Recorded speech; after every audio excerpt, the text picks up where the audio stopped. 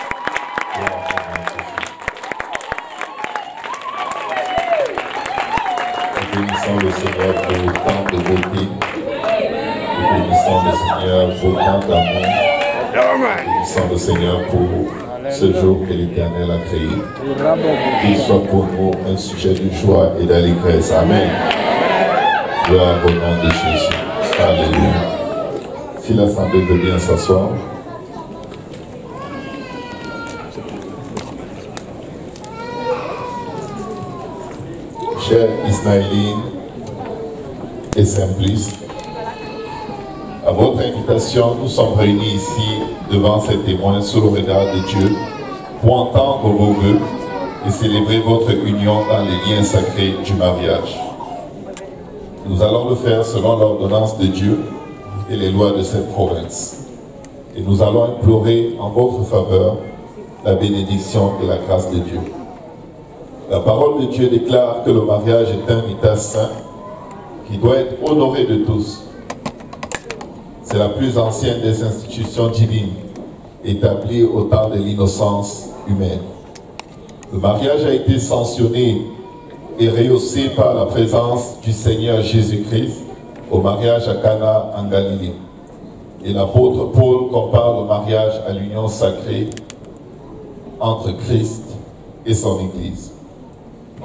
Le mariage est une institution sacrée que tous le respectent et l'honorent comme tel et que les époux restent fidèles l'un à l'autre car le jugement de Dieu frappera les débauchés et les adultères.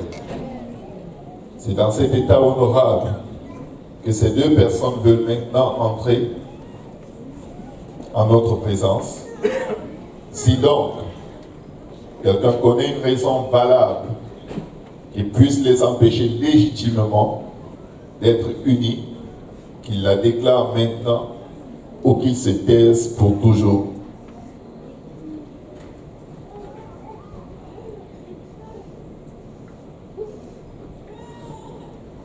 Qui est-ce qui donne cette femme en mariage à cet homme?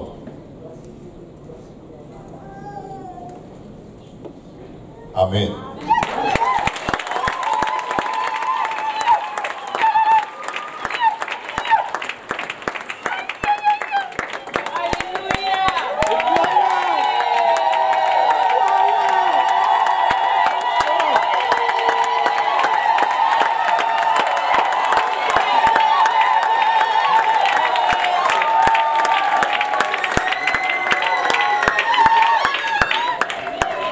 Si nous pouvons tous prier. Père éternel, dans le nom de Jésus, nous venons, Seigneur, devant le trône de ta grâce, tous ensemble avec Isnaëline et Simplice. Venons te dire merci. Venons te rendre infiniment grâce. Venons, Seigneur Jésus, avec toute la reconnaissance de nos cœurs pour tout ce que tu fais. Papa, nous venons te prier que ta main puissante, qui n'est pas courte pour sauver ces tentes maintenant, et touche nos cœurs, nos pensées, nos vies, et particulièrement Simplice et Isnaëli en ce moment. La main éternelle des armées, que, Papa, ton règne vienne dans ce lieu. Que l'œuvre, Seigneur Jésus, de la croix prévale, Seigneur Jésus. Et que ton nom soit élevé alors que, Seigneur, ils viennent s'engager devant toi et devant les hommes qui vont les accompagner jusqu'à ce que tu reviennes.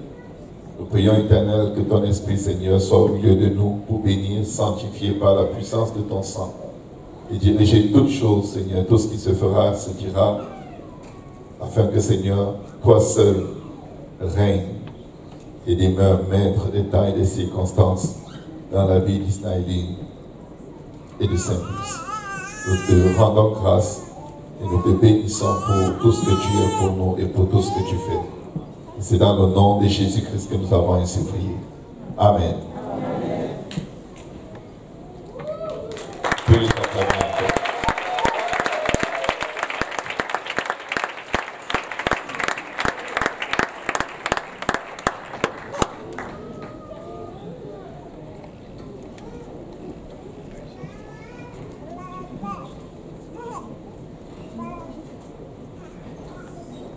Gloire au nom de Jésus.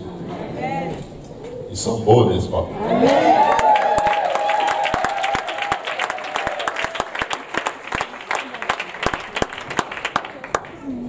La parole de Dieu déclare euh, que nous sommes des créatures merveilleuses. Amen. Euh, la parole de Dieu déclare que nous sommes des créatures merveilleuses. Tout ce que Dieu fait est bon et beau. Amen. Il est parfait dans toutes ses voies. Et quand je les regarde aujourd'hui, je n'ai personne à qui je pourrais comparer euh, ce à quoi ils ressemblent. Ils sont vraiment beaux, ils sont vraiment merveilleux. Et c'est tout un honneur, tout un privilège pour moi aujourd'hui de me tenir devant vous pour vous accompagner dans ce moment aussi important de votre vie. Amen. Gloire au nom de Jésus. Euh, nous avons pour habitude euh, de partager la parole lorsqu'il y a, euh, lorsque nous avons un mariage. Et des mariages, nous en avons en masse. Je ne connais pas une autre assemblée à Montréal qui a autant de mariages que celle-ci. je n'en connais vraiment pas. Et je ne connais pas une autre assemblée. Je ne dis pas qu'il n'y en a pas, mais je ne connais pas une autre assemblée où ceux qui veulent se marier ont l'opportunité d'être vraiment bien préservés autant qu'ils le permettent euh, pour entrer dans cette union sacrée. Amen. Donc, euh, tout à l'heure, avant euh, d'entrer dans le sanctuaire, j'ai demandé à, au frère Simplice la mariée n'était pas tout près, mais je sais qu'ils euh, sont d'un commun accord. si il nous permettait de, prendre quelques minutes pour partager euh, quelques réflexions de la parole de Dieu à l'occasion de leur mariage. Et il m'a dit oui. Je, crois que euh, la sœur Isnaéline, elle est d'accord. Amen. Donc, ce que vous allez endurer pendant les minutes qui vont suivre, c'est leur responsabilité. Amen. Amen. Donc j'ai juste 40 pages. Non, je, plaisante. C'est juste, c'est juste imprimé en gros caractère et je n'ai que 5 ou 6 feuilles. Amen. Mais en réalité, ce qui est dans ces feuilles, euh, vous les connaissez toutes. C'est quelques conseils que nous donnons aux mariés. Et je priais, je demandais au Seigneur Qu'est-ce que je vais dire à, cette merveilleuse personne qui vont venir aujourd'hui honorer le mariage de, Simplice et Ismaéline Et le Seigneur m'a mis une seule chose à cœur que j'aimerais vraiment très brièvement partager avec vous. Si je peux donner un titre à ce partage que nous allons avoir, c'est simple, comme Simplice. Euh, c'est tout simplement l'amour tout-puissant. Alléluia. L'amour tout puissant. Si nous sommes ici aujourd'hui, euh, c'est certainement pas parce que euh, le frère Simplice, il, est rendu maître dans l'art de manier des Kalachnikov et il a pointé une Kalachnikov sur la tête d'Israéline, il lui a dit tu me poses ou je tire. Amen. Mais c'est certainement parce que je ne sais pas vraiment comment ça a commencé, mais je, crois qu'ils se sont observés. Amen. Euh, je me rappellerai toujours la première étude biblique que j'ai eue avec euh, le frère Saint-Christ il y a de longues années en arrière. Euh, je suis venu chez lui à sa première étude biblique. On s'est assis pour partager la parole de Dieu. Et à peine, on a commencé à prier avant d'entrer dans l'étude biblique, on a commencé à prier. Et la présence de Dieu était tellement forte que lui qui venait fraîchement d'arriver euh, dans, l'église avec des origines catholiques comme moi, comme la plupart d'entre nous, il a reçu le baptême du Saint-Esprit immédiatement. Je n'ai pas eu besoin d'imposer les mains sur lui. Il s'est mis à parler en d'autres langues, il parlait en d'autres langues. Et j'ai dit, Seigneur, merci pour une étude biblique courte. Parce que j'étais arrivé chez lui fatigué. Mais Dieu avait un rendez-vous avec lui. Et je n'ai jamais vu ça. Euh, c'est resté dans ma mémoire euh, vraiment de façon très forte. La sœur Ismaëlie est arrivée dans, dans, dans cette assemblée avec vraiment un caractère très simple, très discrète.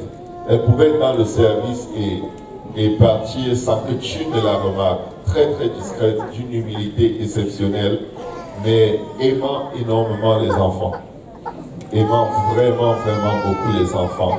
Elle s'est impliquée, on a vu euh, son petit neveu naître, On a vu comment elle marchait avec lui. Il a, il a pratiquement grandi dans ses mains. On aurait pu penser qu'elle est la maman euh, du, petit, je crois que c'est Daniel. Amen. Le, beau, gentil petit garçon qui se tient juste là devant moi. Et euh, sauf qu'à un moment, euh, vous connaissez le frère Simplice, très serviable, très travailleur, très impliqué dans l'œuvre. Euh, plus il s'impliquait, plus elle s'impliquait, plus leur chemin se rapprochait.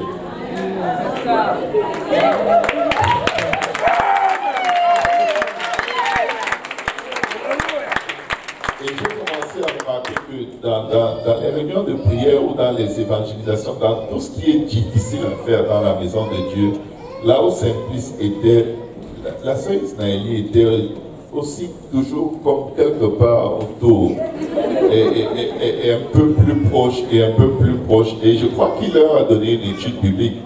Et quand il lui a donné une étude biblique, c'était le grand frère qui venait donner une étude biblique. Il n'y avait rien de ses pensées de oh, euh, euh, c'est un garçon, euh, il est beau, il est cool, il est gentil, il aime Dieu. Donc peut-être, on ne sait jamais si par hasard les intentions, non. Et je crois même que la première fois qu'il lui a parlé, elle était tellement offensée qu'elle lui a dit, si tu continues, je quitte l'église. Et je n'ai jamais vu quelqu'un aussi sérieuse quand elle le disait. C'était pas une farce. Elle était vraiment, vraiment, vraiment sérieuse. Ça nous a fait paniquer. On a eu peur parce que elle ne mâche pas ses mots. Elle n'est pas dans les, Elle ne fait pas des choses à peu près. On ne l'a pas souvent euh, ramené d'un état où on va dire arrête de faire ci ou arrête de faire ça. elle a toujours été très très, très, très sérieuse. Et là, de venir te dire, écoute, pasteur, là, là, euh, je le prenais pour mon grand frère. Maintenant, il me dire qu'il m'aime. C'est quoi ça?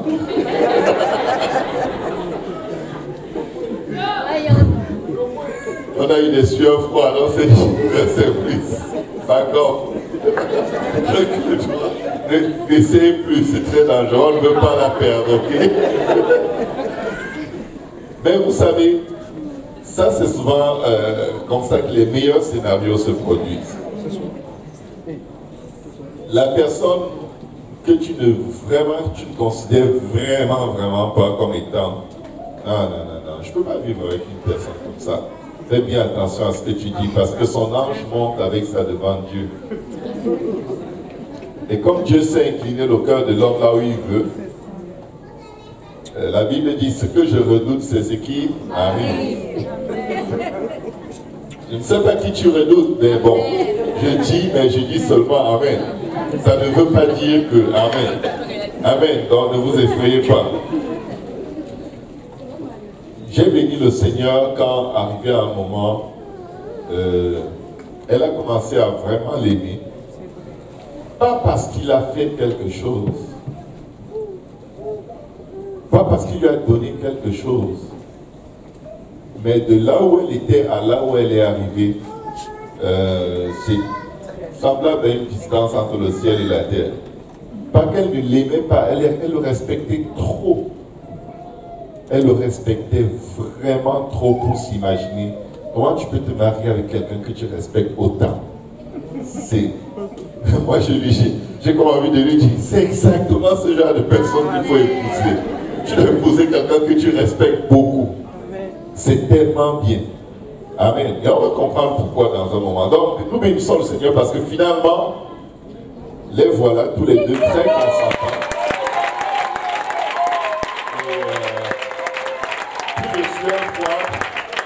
mais nous savons aujourd'hui dans la présence de Dieu et avec toute la conviction de l'Esprit que ce sera un couple exceptionnellement puissant, puissamment utilisé par Dieu euh, à leur départ, à leur arrivée, béni dans tout ce qu'ils feront. Tout ce qu'ils toucheront sera béni. Amen. Parce que tout ce qu'ils ont touché jusqu'à date a été très béni. Amen.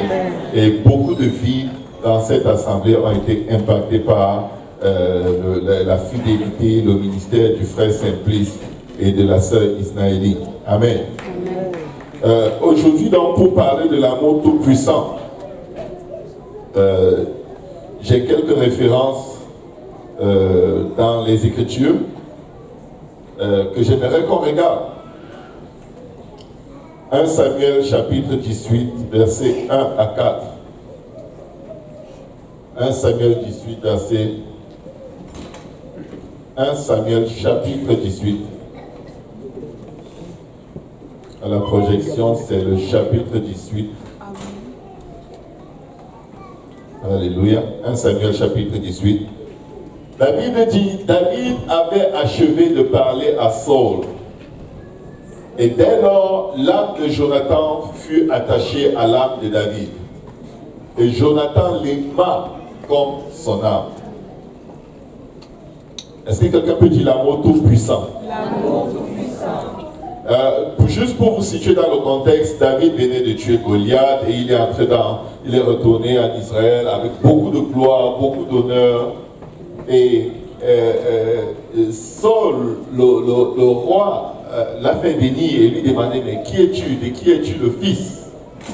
David s'est présenté et il a dit de qui, d'où il venait, qui étaient ses parents.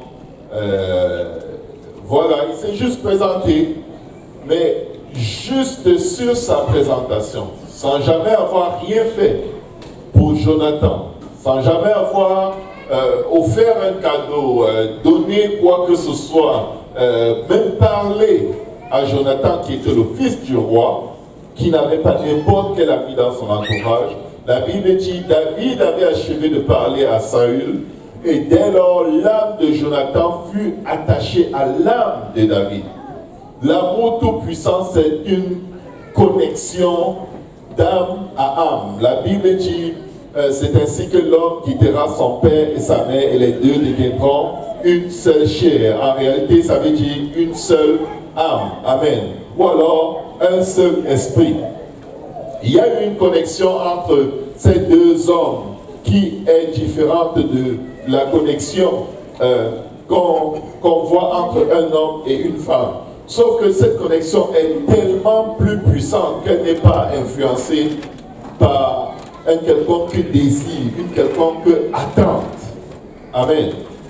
Euh, David, l'âme de Jonathan ne s'est pas attachée à l'âme de David parce que David était très beau, il était très fort et il avait des victoires. Il a tout simplement aimé. Et le verset 2 nous dit ceci. Ce même jour, Saül retint David et ne le laissa pas retourner dans la maison de, son père. Le prochain verset, verset 3. Jonathan fit alliance avec David parce qu'il l'aimait comme son âme. Vous savez, au-delà de l'amour qui est euh, l'attraction naturelle entre un homme et une femme, euh, ce sentiment, au-delà du sentiment d'amour qui peut être de l'attraction naturelle, euh, entre un homme et une femme, il y a un autre niveau d'amour. Il y a un niveau d'amour tellement plus profond, tellement plus puissant, qui dépasse nos sens. Et c'est de cet amour dont la Bible parle. Lorsque la Bible dit que euh, euh, David, l'âme de Jonathan aima David comme son âme. Cet amour tout puissant, c'est l'amour que tu as pour toi-même. Si tu en as. Amen. Euh, certains ne s'aiment pas, mais c'est parce qu'ils ne se connaissent pas. Ils ne se connaissent pas selon le regard de Dieu, selon la, les plans que Dieu a pour leur vie, selon les desseins de Dieu pour leur vie. Euh, tu ne t'aimes pas parce que tu ne comprends pas qui tu es. Amen. Mais il y a un amour que l'être, euh, que chaque personne a naturellement pour soi-même, qui fait qu'on se protège toujours, on se défend toujours on a toujours tendance à ne pas vouloir qu'il nous arrive un quelconque malheur. On ne se moque jamais de soi-même. Ou quelquefois pour rire, mais généralement on se protège. S'il t'arrive un incident qui te fait mal et ça te fait rire, euh, c'est une chose. Mais si, si d'autres personnes se mettent à se moquer de toi pour le même incident, tu vas sentir un pincement dans ton cœur. Pourquoi? C'est parce que tu t'aimes.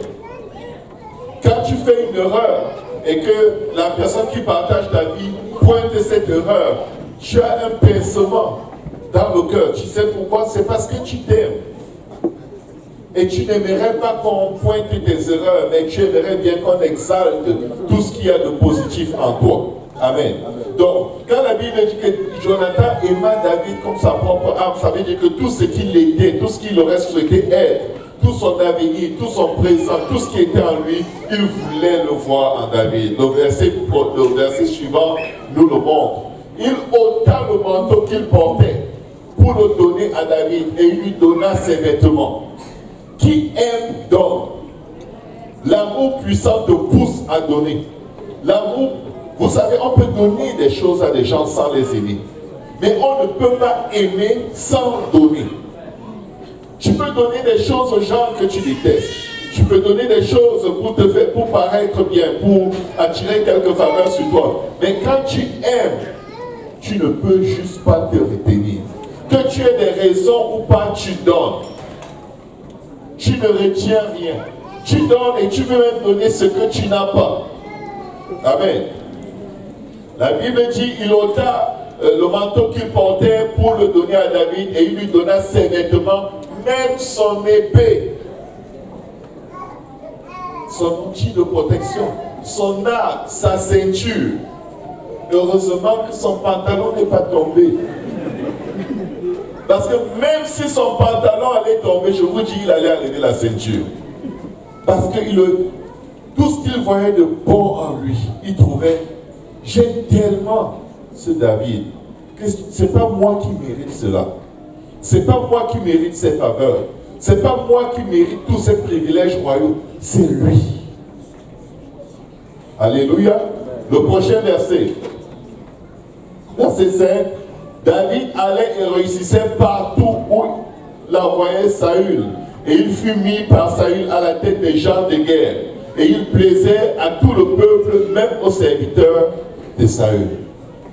Regardez l'amour puissant, l'amour tout puissant. L'amour tout puissant ne retient rien. L'amour tout puissant, ce n'est pas parce qu'il va lui accorder des faveurs sexuelles. Il lui donne tout.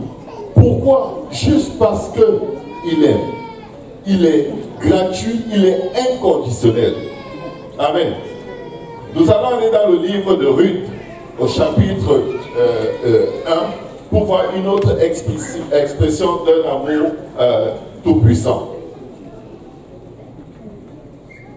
Si la projection peut m'aider avec Ruth.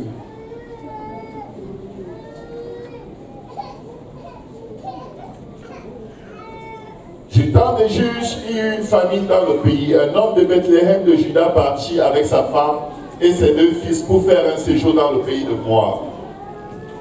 Le nom de cet homme était euh, Elimelech, celui de sa femme Naomi. Descend quelque part vers le verset 8. Juste pour vous situer dans le contexte et pour gagner du temps, un homme quitte sa patrie, euh, son peuple Israël, pour aller dans un pays où il a entendu dire qu'il y a du boulot, il y a de l'argent.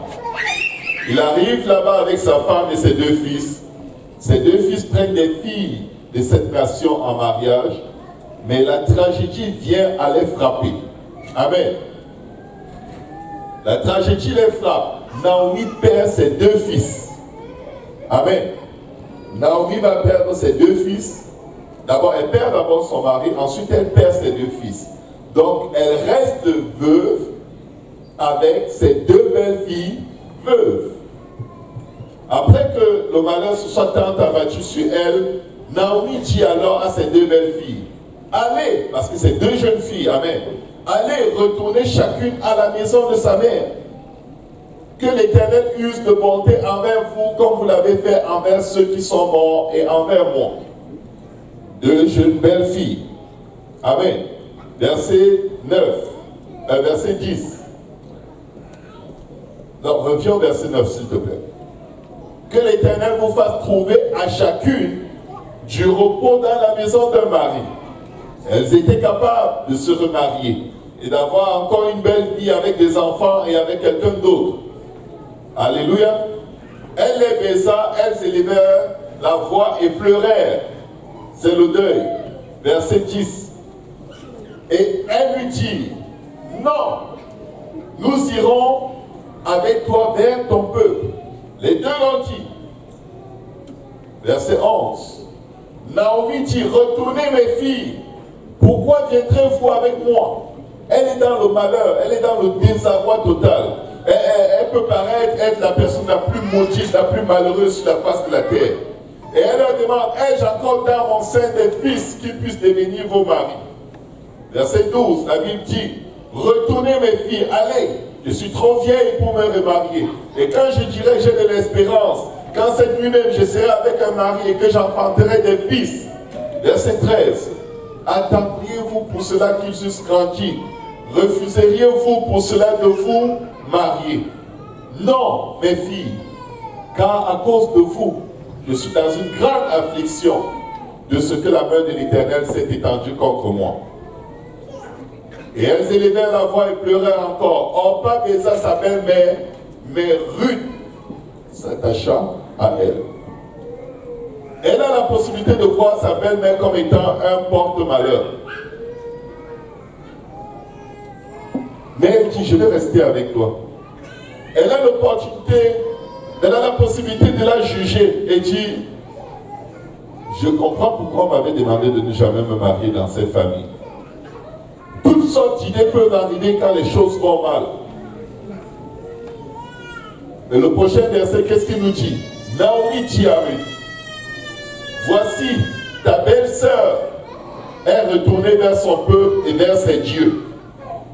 Retourne comme ta belle-sœur. Verset 16. Ruth répondit. Écoutez bien, et c'est là où je vais arriver.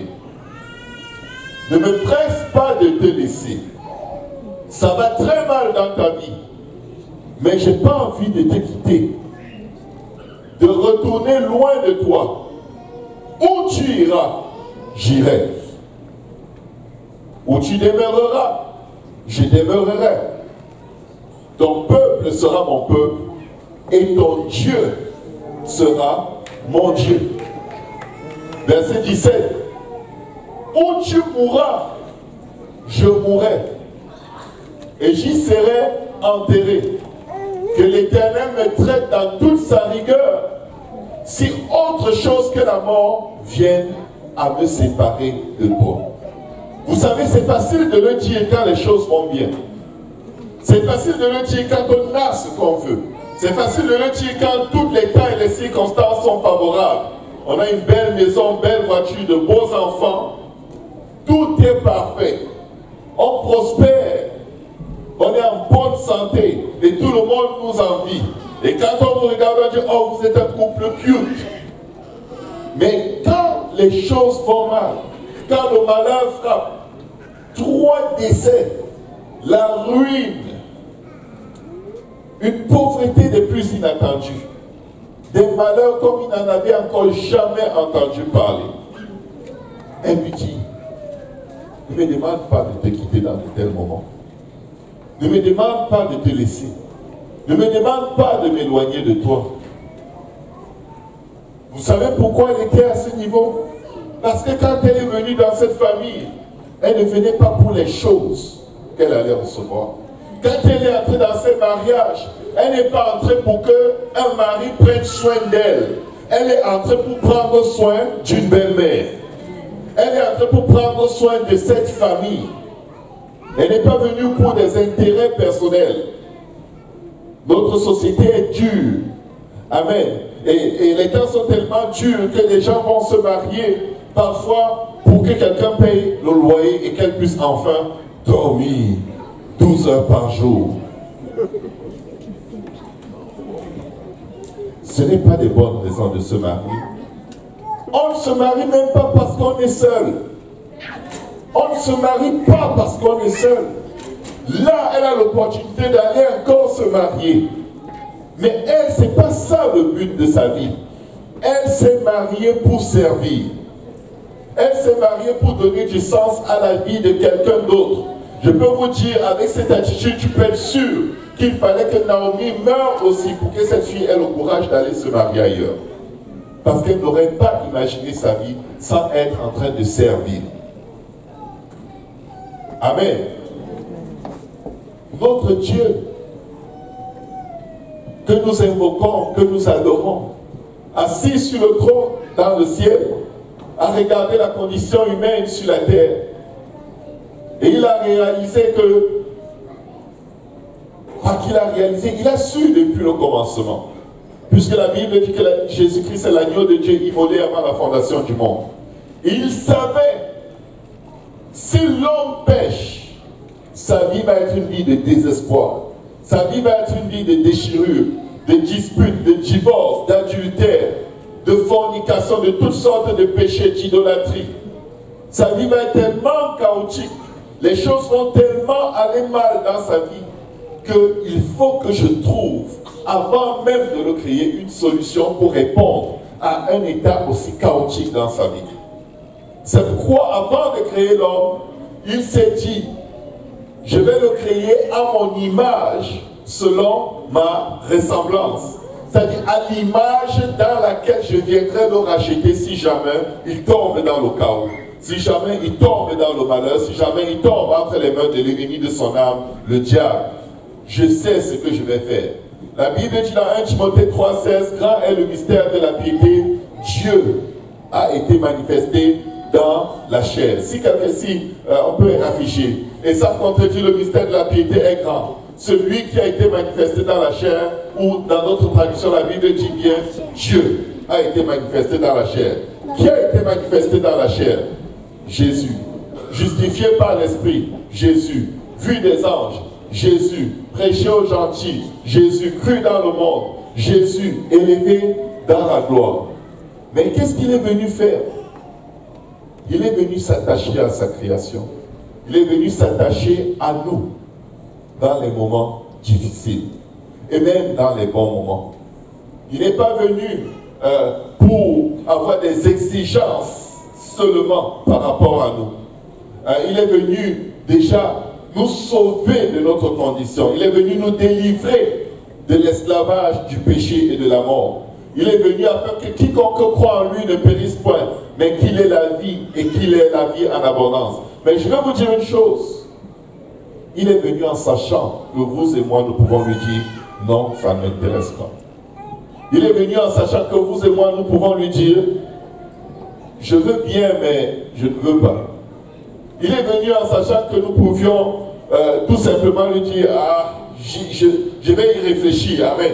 Euh, mais il est quand même venu parce qu'il s'est dit, je veux rendre son environnement tellement plein de témoignages de ma bonté, de ma grâce, de mon amour pour lui, que si jamais un jour il revient à lui-même et qu'il a besoin de mon aide, je serai toujours là. Nous l'avons rejeté, nous l'avons repoussé un peu comme euh, euh, Naomi a dit à Ruth, regarde, il n'y a plus rien de bon en moi, ne t'approche pas de moi. Viens dire au Seigneur, éloigne-toi de moi Seigneur, car je suis un pécheur. Le Seigneur dit, non, non, viens.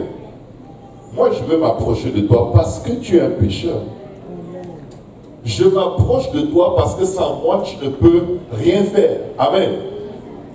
Euh, chaque fois que les gens se marient, nous, nous espérons de tout notre cœur, connaissant ce que les Écritures disent, qu'ils vont arriver à cet endroit inconditionnel de l'amour, où ils vont se marier pour servir et non pour être servis. Toute personne qui rentre dans le mariage pour se faire servir, sera la personne la plus malheureuse sur la face de la terre. Le mariage est comparé par Paul comme l'union mystique qu'il y a entre Christ et son Église. Jésus a dit, je suis venu servir et pas pour être servi. Alléluia. Est-ce qu'on est encore ici ensemble? Jésus est venu servir. La femme vertueuse dans Proverbe 31 est là pour servir. Pourquoi?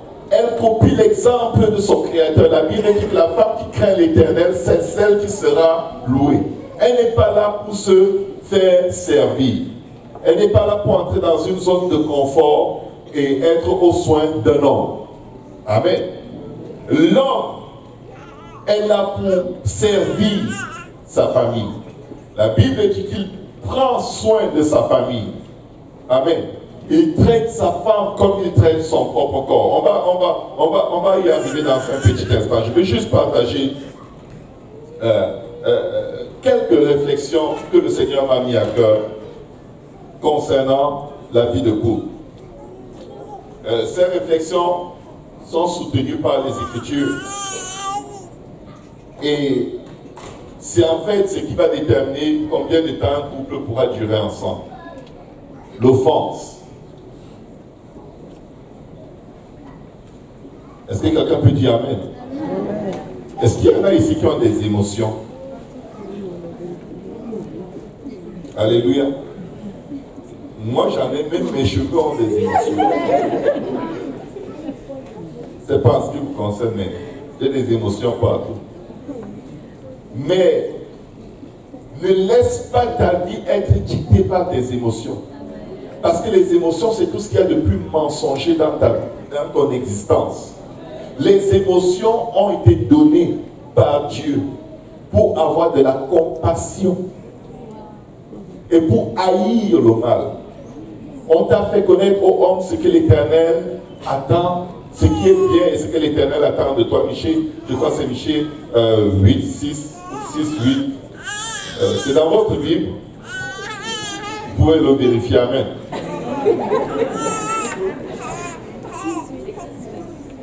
Que tu aimes la miséricorde.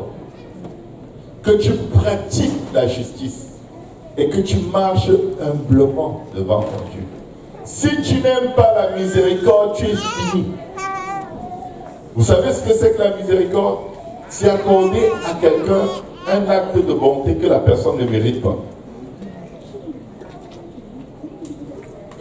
Toute la vie des couples, c'est toujours des positions l'autre attend de toi quelque chose que la personne ne mérite pas. Donc si tu es venu gagner quelque chose du mariage, tu vas être très déçu. Mais si tu es venu donner le cœur et l'amour de Dieu dans le mariage, tu vas être très béni. Parce que chaque fois que tu vas aimer de l'amour de Dieu, tu vas te sentir aimé. Chaque fois que tu vas donner l'amour de Dieu à ton partenaire, tu vas te sentir aimé. Pourquoi Ta vie fait du sens? En ce sens que si ce n'était pas toi, quelqu'un aurait condamné cette personne au lieu de lui faire grâce. Amen. Quelques conseils, comment réagir face à l'offense. Premier conseil, on réagit avec un ardent amour. Il n'y a que l'amour qui est la meilleure réponse à l'offense. Et pas un amour du sentiment d'amour, un amour puissant un amour comme celui de David et Jonathan. La Bible dit dans 1 Pierre, chapitre 1 euh, Pierre 1, verset 22 25, ayant purifié vos âmes en obéissant à la vérité, pour avoir un amour fraternel sincère. Aimez-vous ardemment. Ardemment. Pourquoi ardemment? Pourquoi pas juste s'aimer? Parce que je vais vous dire une chose, il arrive des choses qui mettent votre cœur vos émotions à un état où vous ne voulez juste plus voir la personne. Mais il faut que votre amour soit comme un feu dévorant qui va consumer cette émotion et qui a l'émotion. Mais c'est un être humain. Ce n'est pas Dieu. Cette personne a le droit de faillir. Parce que moi aussi, je suis pécheur. Amen. La Bible dit que nous sommes tous pécheurs et privés de la gloire de Dieu. Amen. Alléluia. Aimez d'un ardent amour. Aimez-vous d'un ardent amour. Que votre amour, que l'expression de votre amour soit plus importante que l'expression de votre droit. Amen. Oh, tu ne dois pas me faire ça. La personne l'a fait. Tu fais quoi? Même si la personne regrette, c'est déjà fait. Donc, si tu passes ta vie à dire Oh, tu sais, à l'époque des dinosaures, quand on marchait encore avec nos mains sur la terre, tu m'avais insulté, tu m'avais mal regardé et ta mère était contente. Écoute, c'est à l'époque des dinosaures. Les dinosaures n'existent plus. Est-ce qu'on peut tourner la page? Est-ce que tu m'aimes aujourd'hui? Si tu m'aimes, passons à autre chose. Amen. La deuxième chose que je peux vous recommander, mes frères et sœurs, et que Dieu fait pour nous, c'est faire ce que Jésus aurait fait quand ton partenaire fait ce qu'il fait. Qu'est-ce que Jésus aurait fait? Si tu te poses toujours cette question et tu réagis exactement comme Jésus aurait réagi, tu n'auras aucun mal. Tu vas toujours avoir la victoire. La Bible dit dans 1 Pierre 2, verset 21 à 25, et c'est à cela que vous avez été appelés, parce que Christ aussi a souffert pour vous, vous laisser un exemple, afin que vous suiviez ses traces.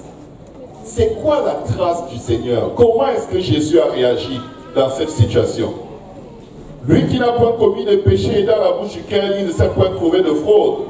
Lui qui, écoutez bien, verset 23, injuriait. Est-ce qu'on a insulté le Seigneur? La Bible dit qu'il ne rendait point d'injure. Je vous garantis, tout couple arrive à un endroit où la bouche glisse et une injure sort. Ah, vous ne le croyez pas, pas votre couple, ok? 95% sauf les vôtres, vous faites partie des 5%, amen. Donc vous, vous avez échappé à ça, gloire à Dieu, alléluia. Mais nous autres, parfois c'est juste, juste là, entre les dents et la lèvre, tu dois de ta langue ou commencer à parler en langue selon que l'Esprit te donne de t'exprimer pour échapper au missile qui veut sortir. Alléluia. Injurier, il ne rendait point d'injure. Maltraité. Si on a maltraité Jésus, tu vas être maltraité. Est-ce qu'il y a des hommes qui se sentent maltraités de lever par vos mains? Est-ce qu'il y a des femmes qui peuvent se sentir maltraitées? Baissez vos mains. Tu peux être maltraité. Tu peux l'être par la personne que tu aimes et qui t'aime. Parce que la personne t'aime mal. Nous avons maltraité le Seigneur. C'est de nos péchés qu'il s'est chargé. Il a pris sur lui nos iniquités. Le châtiment qui nous donne la paix est tombé sur lui. Et par ses meurtrissures, nous sommes guéris. Il devait nous endurer pour que Dieu nous délivre. Oh non, ça veut dire que toute ma vie, écoute, on n'a pas parlé de toute ta vie, ok? C'est juste un moment où ça arrive. Toi, tu vas dire c'est tout le temps. Bon, tous les moments où ça arrive, c'est la même force que tu dois utiliser. Demande de l'aide à Jésus. Amen. Maltraité ne faisait point de menace. Vous savez, quand on est maltraité, on est menacé. Dieu va te tuer, Dieu va te... Dieu ne tue pas, ok? Il ne va pas le tuer. C'est tes émotions qui parlent. Heureusement que Dieu n'écoute pas nos émotions. Amen. Euh, Dieu n'écoute pas nos émotions, sinon il n'y aurait que nous sur la face de la terre et tout le monde serait mort. Amen. Mais il s'en remettait à celui qui juge justement. Amen. Regardez ce que la Bible dit. Lui qui a porté lui-même nos péchés en son corps sur le bois. Dans un couple, vous allez porter sur vous les péchés de l'un et de l'autre. La preuve, c'est que vous êtes offensé parce que la personne a péché contre vous. Amen. Ça va arriver. Mais qu'est-ce que vous faites? Afin que mort au péché, nous vivions pour la justice. Lui par les meurtrissures duquel vous avez été guéris. Qui lui a fait ces meurtrissures C'est nous. C'est nous les hommes. Mais au lieu que ces meurtrissures appellent sur nous la colère et la rage de Dieu, ces meurtrissures ont appelé la guérison. Pourquoi? Père, pardonne-leur, car ils ne savent pas ce qu'ils font. C'est la plus grande arme de délivrance de ton partenaire, c'est pardonner. Quand tu es blessé, quand tu es déchiré, quand tu es trahi, quand tu es maltraité, quand tu es abusé, si tu pardonnes, Dieu va agir. Quand tu pardonnes, tu invites le royaume de Dieu au milieu de cette situation dévastatrice. Et alors même qu'on croit que ça va te tuer, ça va te donner la vie. Et ça va donner la vie à ta maison, ça va donner la vie à tes enfants, ça va donner la vie à ceux qui entendront ton témoignage et qui sont désespérés comme toi. Le pardon est important, le pardon est nécessaire parce que nous sommes tous pécheurs et privés de la gloire de Dieu. Mais c'est le pardon qui nous donne encore l'opportunité de nous approcher avec assurance devant le trône de la grâce et recevoir miséricorde et obtenir grâce selon nos besoins. Isnaéli, simpliste, pardonnez. Ayez une rage de pardonner, sans s'attendre à ce que l'autre change. Je te pardonne, mais ne refais plus ça. S'il refait. Alléluia. Troisième chose face à l'offense, il faut être déterminé à faire du bien. Oh, il me fait du mal. Moi, je vais faire du bien. Le bien que je fais, ce n'est pas parce qu'on me fait du bien. La Bible dit enfin, 1 euh, Pierre 3, verset 8, enfin soyez tous animés des mêmes pensées, des mêmes sentiments, pleins d'amour fraternel, de compassion, d'humilité. Ne rendez point le mal pour le mal. Alléluia. Quand vous rendez le mal pour le mal, il se multiplie. Et quand vous vous, dites, là, j'ai rendu, maintenant tout va bien, lui n'a pas fini. Et où elle n'a pas fini? Parce que chacun suit l'exemple de chacun. Comme tu m'as fait ça, je te fais ça, et tu me fais ça parce que je t'ai fait ça, et après je te fais ça parce que tu m'as fait ça, et ça monte, ça monte, ça monte, et les démons dansent. Ils chantent, ils se roulent dans la poussière, et disent, des chrétiens qui se disent chrétiens, qu'il ne soit pas dit de notre part. Nous allons faire ce que Dieu nous demande de faire avec la force que Dieu va nous donner. Dieu a assez de force pour qu'on y arrive. Et si tu crois et tu fais ce qu'il attend de toi, tu verras la gloire de Dieu. Les haines et les rancunes ne servent à rien. Les haines et les rancunes sont les attributs du diable. Amen. Si tu as des haines et des rancunes, demande à Dieu de les enlever parce que tu n'as aucune part avec Satan. Amen. Et les haines et les rancunes détruisent les couples. Quatrième et dernière chose, il faut toujours vous en remettre à Dieu. Quand ça va mal, remettez-vous à Dieu. Amen. 1 Pierre 4, verset 19 dit, ainsi que ceux qui souffrent selon la volonté de Dieu remettent leur âme au fidèle Créateur. Comment? En faisant ce qui est bien. Alléluia. En faisant ce qui est bien.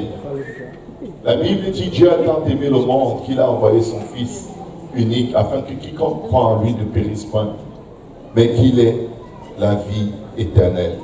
Le pardon n'est pas quelque chose que ton prochain mérite pour que tu lui donnes.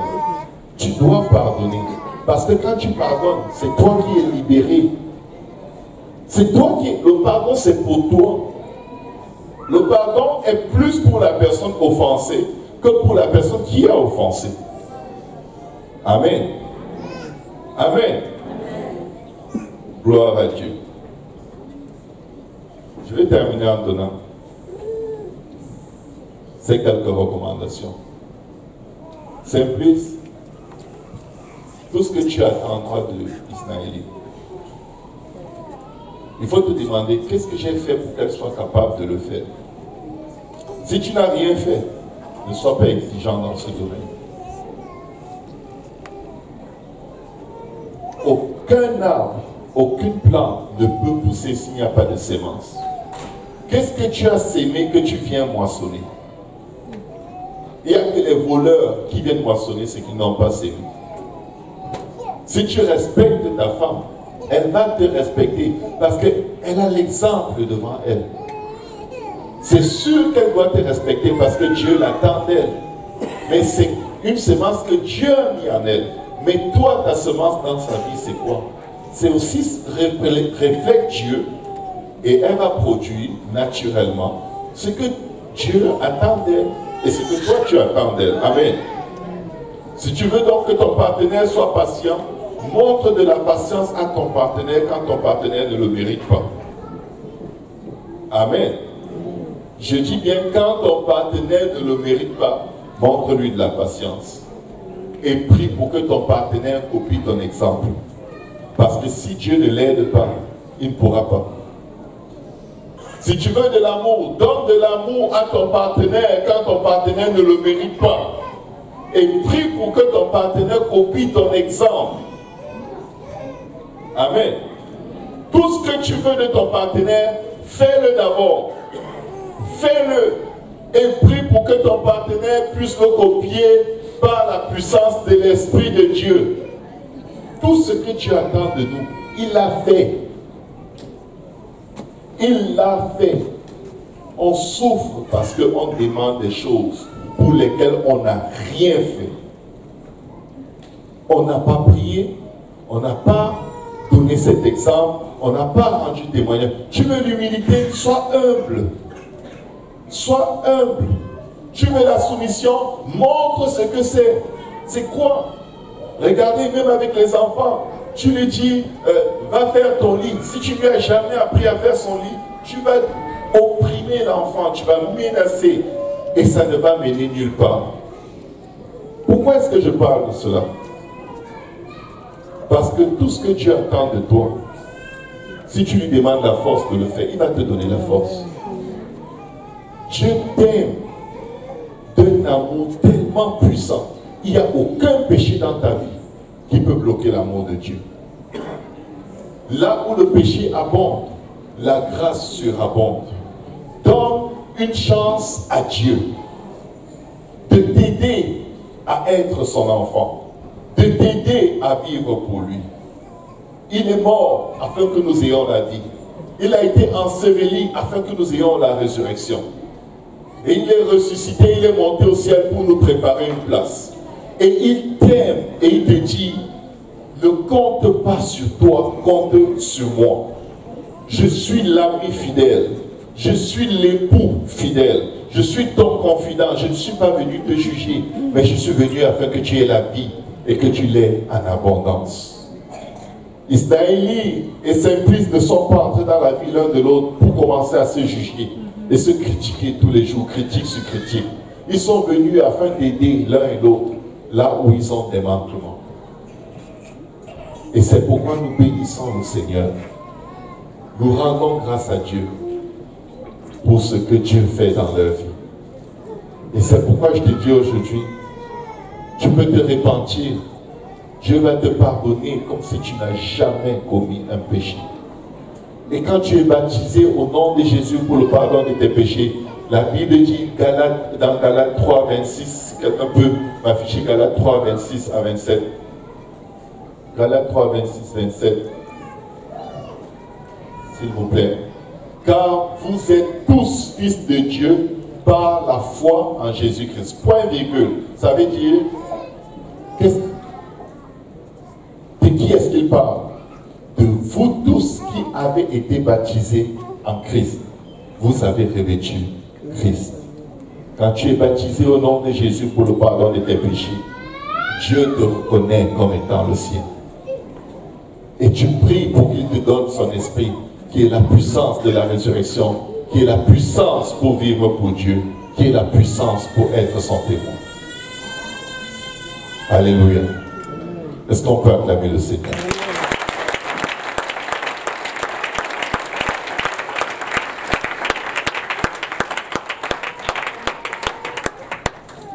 Éphésiens 5, 22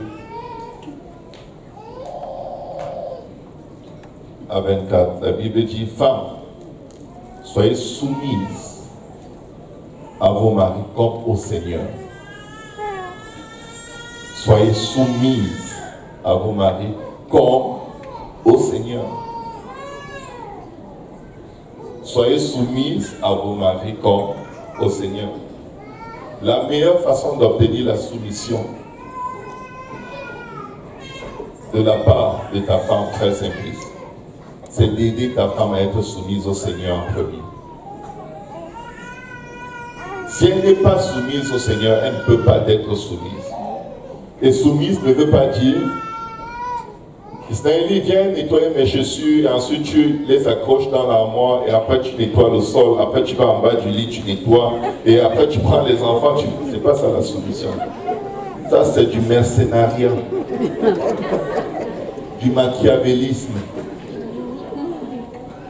La soumission, ce n'est pas être ton esclave. C'est être partenaire avec toi dans ce que Dieu veut faire avec vous. Dieu a donné une femme à l'homme pour l'aider. Ça veut dire qu'il fait, elle l'aide à faire. Je crois que c'est ce que je comprends des Écritures. Peut-être, certains pensent que Dieu a donné la femme pour être leur, euh, je pas, leur vache qui va tirer les chariots et les fardeaux, mais ce n'est pas comme ça dans les Écritures. Tout ce que Christ attendait de son Église, il a fait. Et l'Église agit aujourd'hui en copiant uniquement ce que le Seigneur a fait. Christ a été soumis. Il a été obéissant. Il a marché dans la justice. Il a montré l'amour. Il a montré la grâce. Il a montré le pardon. Et il demande à l'Église de faire pareil. Amen. Soyez soumises à vos maris comme au Seigneur, car le mari est le chef. Félicitations, Saint Ismaël. Tu as un chef, pas un maître. La Bible parle de maître dans les rapports, de maître avec des esclaves. Ton mari n'est pas ton maître, il est ton chef. C'est-à-dire celui qui te montre la direction dans les rapports avec Dieu. C'est avec lui que tu vas frapper à la porte des cieux. Et quand tu veux faire quelque chose, tu le consultes. Il n'est pas ton maître. On a un seul maître, Dieu. Quand on parle de maître, on parle d'esclave. Quand on parle de chef, je vais vous donner un exemple. À votre boulot, votre chef n'est pas votre maître. Faux Et votre chef vous donne les moyens de faire ce qu'il attend de vous. Vrai ou faux La Bible dit chef, pas maître. Alléluia. Ça veut dire qu'il va t'aider à atteindre les plans de Dieu pour ta vie. Et je sais, il le fait déjà. C'est pourquoi tu as accepté. Et c'est pourquoi tu l'as aimé. Parce qu'il t'a donné un exemple d'un compagnon qui ne va jamais te laisser, qui ne va jamais t'abandonner, qui ne va jamais te maltraiter. Et on l'a vu. Même si on ne s'est pas mêlé de vos affaires, on le voyait. Amen. Il t'a rassuré. Il t'a donné la paix. Il t'a donné la joie. Il t'a donné l'assurance. Je peux risquer ma vie entre les mains de ce gars. Amen. Car le mari est le chef de la femme comme Christ est le chef de l'Église, qui est son corps et dont il est le sauveur. Or, de même que l'Église est soumise à Christ, les femmes aussi doivent l'être à leur mari en toutes choses. En toutes choses. Copie-le. Copie-le. Alléluia. Alors la parole de Dieu dit, Marie, Aimez vos femmes. c'est plus, tu connais nos cœurs, ils sont, c'est juste les cœurs des hommes. Il n'y a pas beaucoup d'émotions dedans. On néglige, on minimise. Mais il faut être sensible à ce qui la touche. Rejoins-la à l'endroit où son cœur est troublé. Ne, ne minimise pas ses douleurs. Partage ses émotions. Pas pour te faire envahir par ses émotions, mais pour l'aider à réaliser que tu la comprends et que tu es avec elle. Ensuite, tu vas lui montrer le chemin pour sortir des émotions, pour faire la volonté de Dieu. Amen. Aimez vos femmes comme Christ a aimé l'Église. Il s'est livré lui-même pour elle. Christ n'a pas torturé l'Église. Amen. Ne torture jamais ta femme. Nous avons lu tout à l'heure le passage qui disait maltraiter, il ne, menaçait point. Ne maltraite pas ta femme. Ce n'est pas de Dieu. Ça ne ressemble même pas à Christ, même pas un peu. Amen.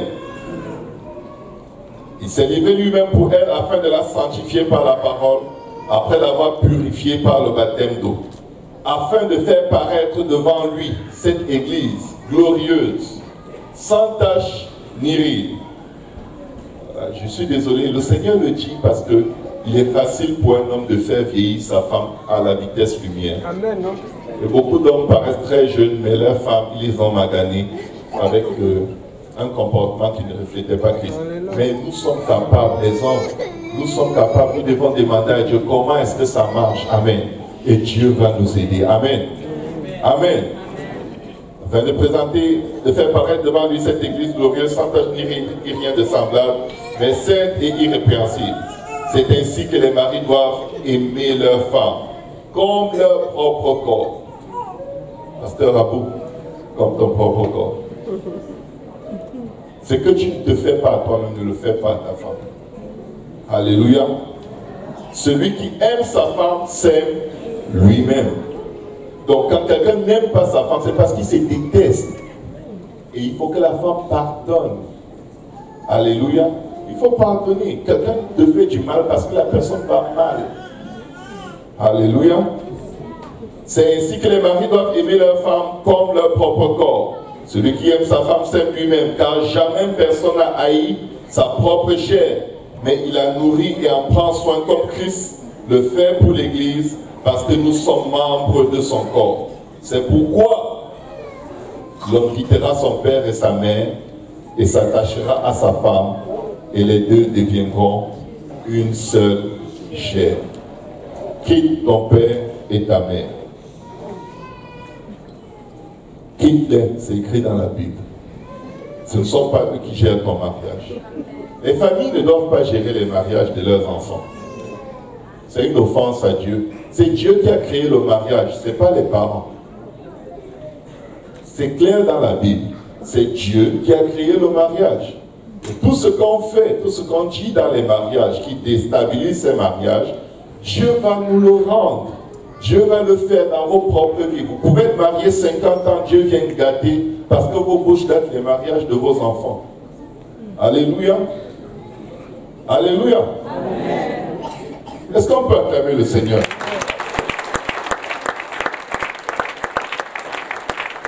Si les mariés peuvent s'avancer, on va passer au vœu.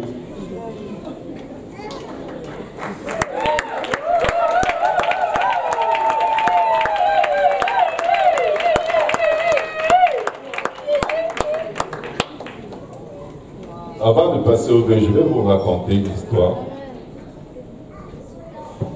qui ne doit jamais se trouver parmi vous. C'est l'histoire d'une femme qui était tellement exaspérée par le comportement de son mari. Elle lui dit, il n'y a aucune femme normale dans sa tête qui est capable d'accepter de vivre avec un homme idiot comme toi. Écoutez bien. Comment une femme parle à son mari? Vous parlez de Jézabel, ça c'est Jézabel. Elle lui dit, il n'y a aucune femme normale dans sa tête, Pasteur Luc, qui est capable d'accepter de vivre avec un homme idiot comme toi. Le type n'a pas répondu. Elle lui répète, est-ce que tu as compris ce que je t'ai dit? Vous savez, quand elle veut que ça pique là, elle double. Café, expresso, americano. Elle répète la phrase. Le type était tellement blessé et frustré. Il s'est dit, si je me m'étais à répéter cette troisième fois, donc il faut que je mette un but ici et que l'affaire s'arrête. Il lui dit, ce que tu dis est vrai. Depuis que je suis jeune, depuis que j'étais ado, j'ai même remarqué que les seules femmes que j'attirais, c'était des femmes malades mentales et idiotes. Et j'ai fini par épouser une.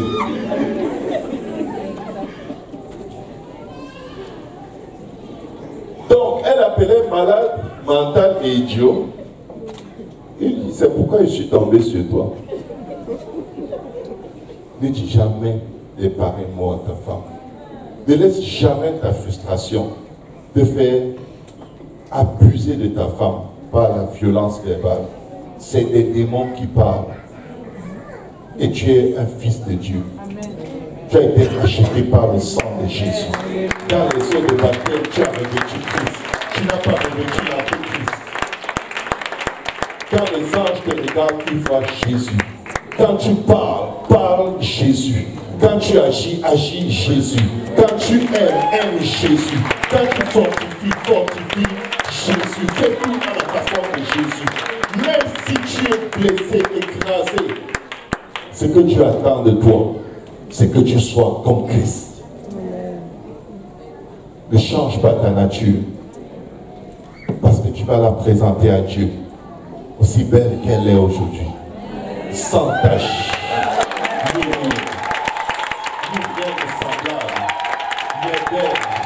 Sanctifiée par la parole, aimée malgré ses défauts, soutenue malgré ses faiblesses. Même quand elle te juge mal, tu dis chérie, c'est pas grave. Allons prier, Dieu va nous aider. Je vais être meilleur. Je vais être meilleur. Tu es un homme de Dieu.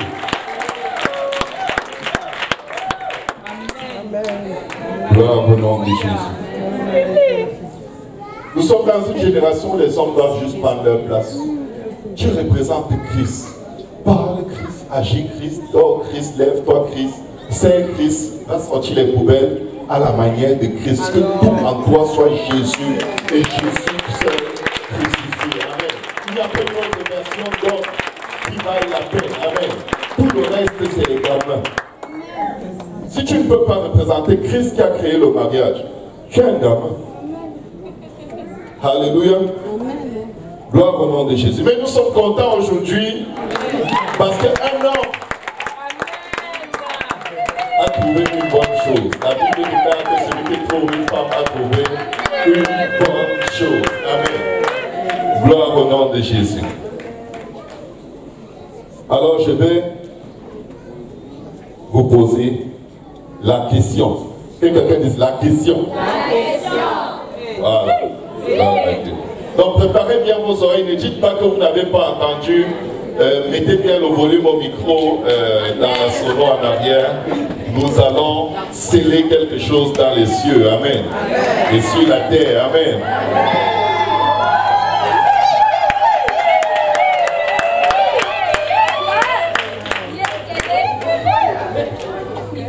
Veux-tu Gomoé Simplice Michael. C'est un ange. Épouse afin de vivre avec elle selon l'ordonnance de Dieu. Dans l'état saint du mariage. Veux-tu l'aimer? L'aimer. Veux-tu l'aimer? La consoler. Être une éponge dans son cœur qui enlève la douleur L'honorer Si tu viens d'elle partout où tu vas C'est ça honorer Veux-tu faire ça très simple et lui demeurer attaché dans la maladie et dans la santé et renonçant à tout autre te garder seulement pour elle. Tu as bien compris.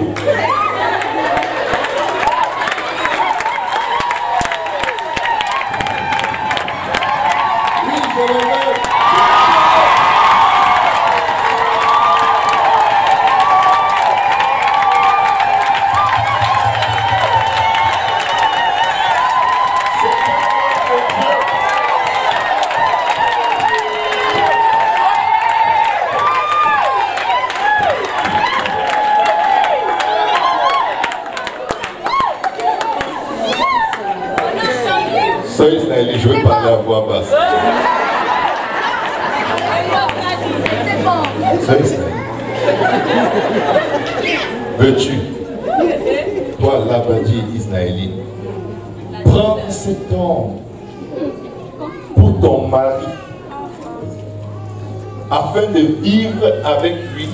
selon l'ordonnance de Dieu dans l'état saint du mariage. Veux-tu l'aimer? Lui demeurer soumise Écoute ce qu'il dit. Le consoler,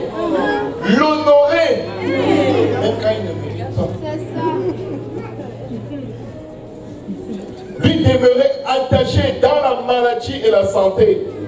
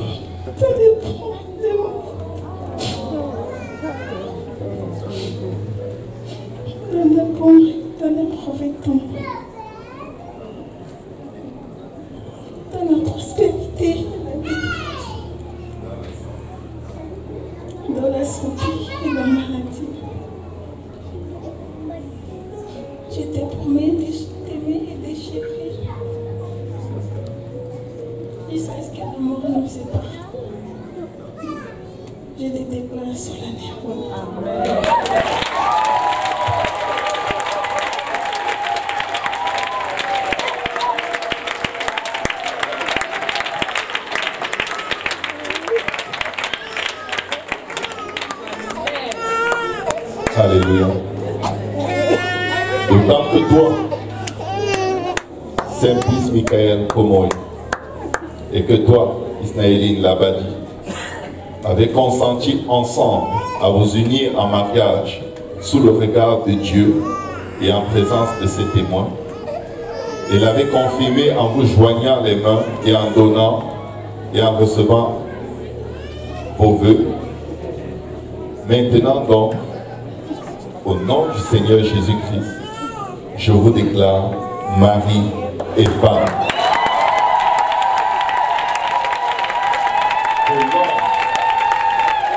Que l'homme ne se pas ce que Dieu a Ne permettez à aucune intention, aucune pensée ou aucun acte humain de vous séparer.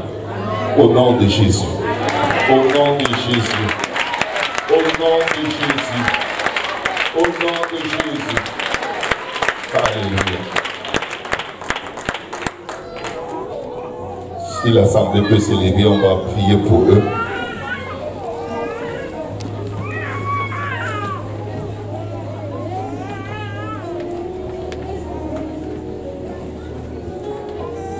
Dans le nom de Jésus. Père, nous venons au nom de Jésus. Te dire merci pour ta grâce, ta faveur envers le frère Simplice, la sœur Ismaël.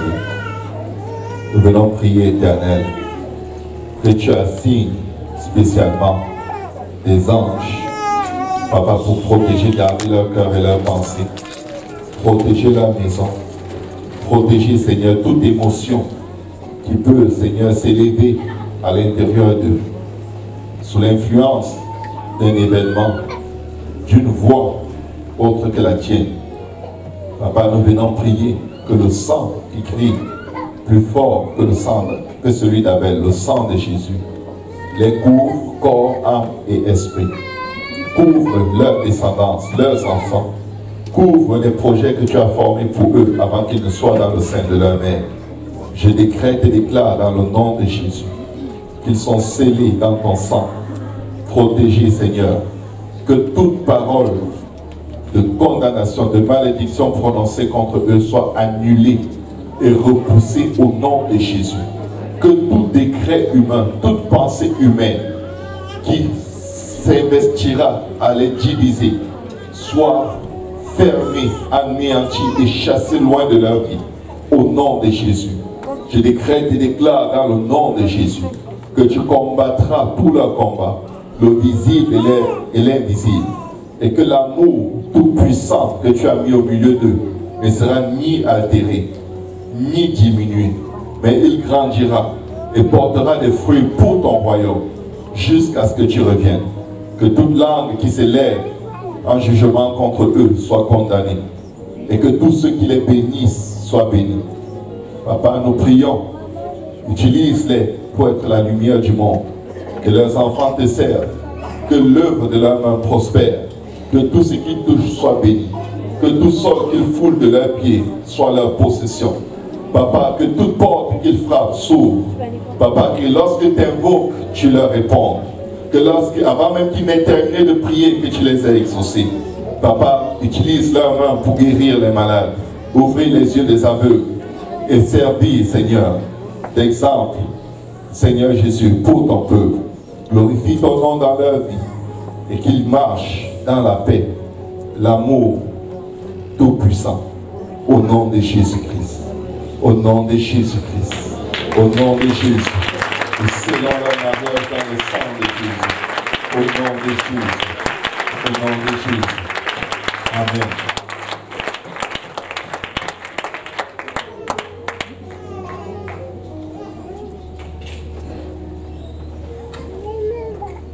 Ils sont beaux, n'est-ce pas? Amen. précieux. Donc, euh, Genèse chapitre 1. Au commencement. Amen. Le bisou.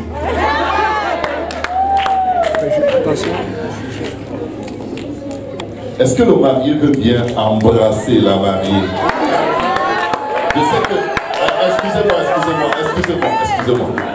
En Côte d'Ivoire, quand on parle, on prononce le R. Amen. Donc, est-ce que le mari veut bien embrasser la mariée?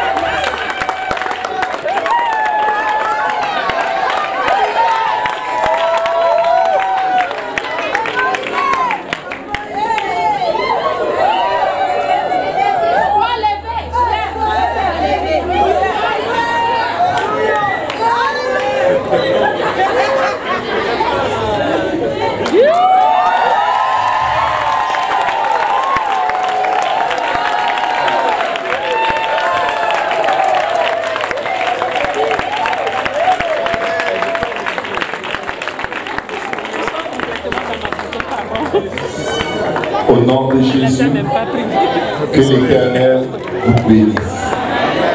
Qu'il vous garde. Que l'Éternel fasse lui sa face sur vous. Et qu'il vous accorde sa grâce tous les jours de votre vie. Que sa grâce s'étende sur vos enfants et les enfants de vos enfants jusqu'à la millième génération.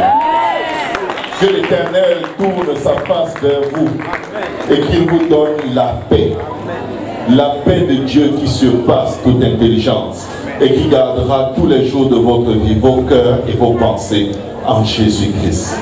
Soyez bénis à votre départ et à votre arrivée. Au nom de Jésus. Alléluia. Vous pouvez vous asseoir un moment, s'il vous plaît. Les mariés vont euh, signer alors que euh, euh, les, les, les, les, amis ont préparé un, un cantique. Les mariés et les témoins, s'il vous plaît. Si les témoins peuvent s'approcher pour signer.